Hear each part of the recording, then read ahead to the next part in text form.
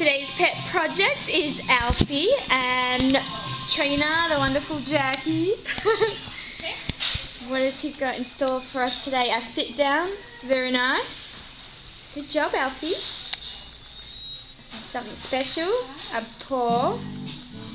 Can you do the other one? Sure can, too easy. What a star.